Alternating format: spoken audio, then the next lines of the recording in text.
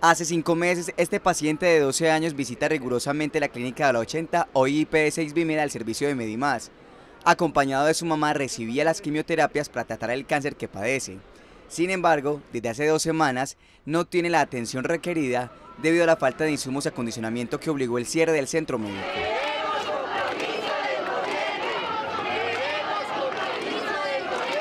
Usted sabe que una persona con cáncer, si no le hacen las quimios, si no le hacen los tratamientos, simplemente el, final es que, que, le pase algo, que se agrave más y que se me muera mi hijo.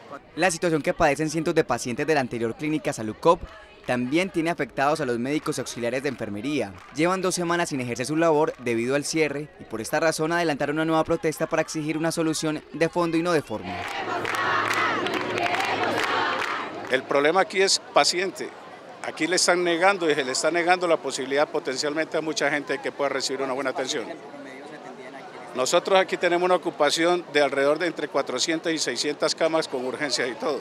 Aparte de las de UCI, UCI neonatal, entre otras los neonatos, los chiquitos, los recién nacidos, prematuros y todo, también están padeciendo lo mismo.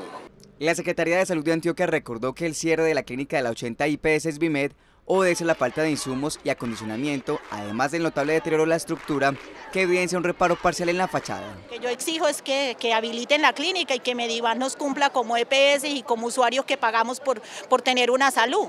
Tanto los usuarios como los profesionales de la salud de la IPS Bimed le piden a Medimás soluciones definitivas para mejorar el servicio y garantizar la oportuna atención de una población considerable que hoy está a la espera que sea reabierta la clínica.